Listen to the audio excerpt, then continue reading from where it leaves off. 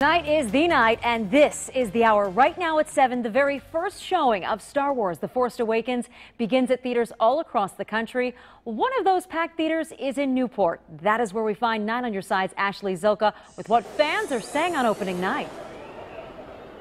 Now, the first showing just started moments ago, back in 1977, when Princess Leia looked like this. It cost about $3 to go to the movies. Well, tonight it cost about 11, but one thing hasn't changed. Everyone is still in love with the films.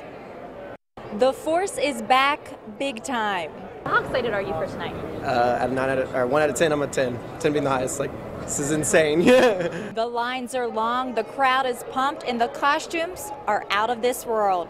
Uh, I dressed up as the new villain, Kylo Ren, uh, just because I know he's probably going to be iconic from here on out. Yeah, I've been saving up my hype for two years since Disney announced they're making more movies, so that'll be pretty fun. I've been looking forward to this forever. Fans camped out here at AMC Newport for 24 hours. The movie theater held a marathon of all the previous Star Wars movies last night. We've been here all night. I got here at 4 p.m. 4 p.m. yesterday? Yeah. Since about 3 p.m. yesterday, we got in line for the movie marathon. Tonight, Star Wars The Force Awakens is expected to shatter box office records, and some experts say it could be the first film to break the $3 billion mark. These fans aren't surprised.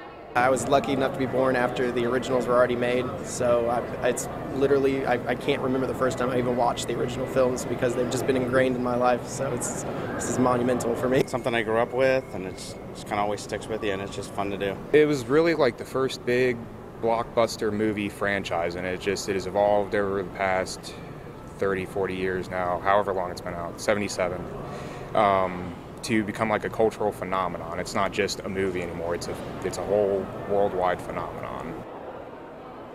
Now, I just spoke with the general manager, and he says there are only single seats available for the rest of the night. But there is good news. If you are truly a dedicated Star Wars fan, they just added another show, and that is at 5:30 in the morning. That is wide open right now. Reporting wow. live, Ashley Zilka, Nine on Your Side. 5:30.